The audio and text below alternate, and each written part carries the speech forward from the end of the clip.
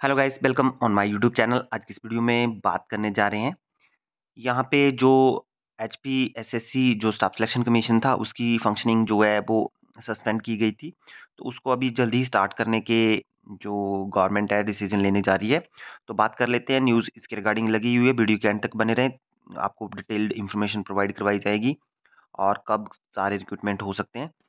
तो आप देख सकते हैं यहाँ पे D C Hamirpur S S C की एच टी ओ एचओडी बनेंगी तो इनको जो डी सी हमीरपुर है, उन्हीं को ये एडिशनल चार्ज दिया जा सकता है। यहाँ पे आप देख सकते हैं, कमीशन के रुके काम चलाने के लिए सरकार की व्यवस्था, रुका वेतन भी एक दो दिन में होगा बहाल।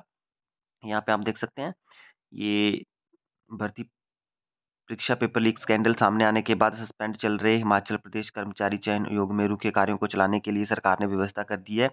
पर्सनल विभाग के स्पेशल सेक्रेटरी की ओर से जारी निर्देशों के अनुसार डीसी देवश्वेता वनिक हमीरपुर को कमीशन के एचओडी की पावर दे दी है। गुरुवार को इस बारे में सरकार की ओर से कमीशन के एसओडी को लिखित ऑर्डर जारी कर दिए गए हैं।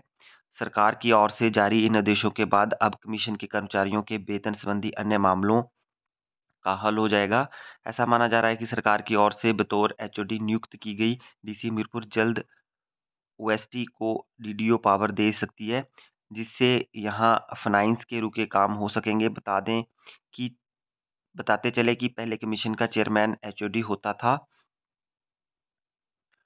उनके पास आगे डीडीओ पावर, डिप्टी सेक्रेटरी या सेक्रेटरी को देने की पावर थी, लेकिन तेईस दिसंबर को पेपर लीक मामले सामने आने के बाद, उसके उपरांत एक के बाद एक, आठ गिरफ्तारियों के चलते कमीशन पर बिठाई गई। जाँच के बाद सरकार की ओर से कर्मचारी चयन को सस्पेंड कर दिया गया था।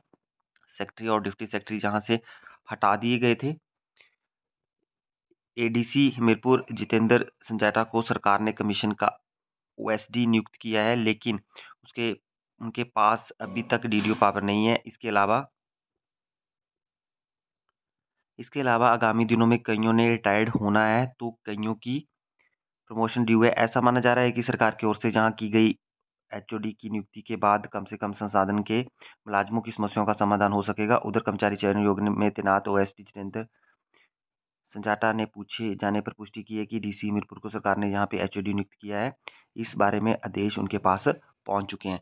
तो ये कंप्लीट जो न्यूज़ है, ये सिर्फ़ जो अपने उनके पर्सनल जो स्टाफ सिलेक्शन कमीशन के अपने रिटायरमेंट और प्रमोशन से रिलेटेड जो काम थे, जहाँ सैलरी से जो काम थे, जहाँ एम्प्लॉइज़ की जो अंदर होते हैं ज़रूरी काम, उन्हीं के लिए इनको एचओडी नियुक्त किया गया है। तो अभी हो सकता है कि जो रिक्रूटमेंट होंगे, उनके लिए कुछ एक टाइम लग सकता है मतलब जो स्टाफ सिलेक्शन कमीशन है, उसकी फंक्शनिंग के लिए अभी टाइम लग सकता है। तो आपको थोड़ा वेट करना पड़ सकता है। तो थे आज की कंप्लीट न्यूज़ जो कि स्टाफ सिलेक्शन कमीशन हमीरपुर की फंक्शनिंग के रिगार्डिंग थी। इस तरह की वीडियो अपडेट्स के लिए चैनल को सब्सक्राइब कर लें। जब भी न्यू अपडेट आएगी तो आपको अपडेट करवा दिया जाएगा। Thank you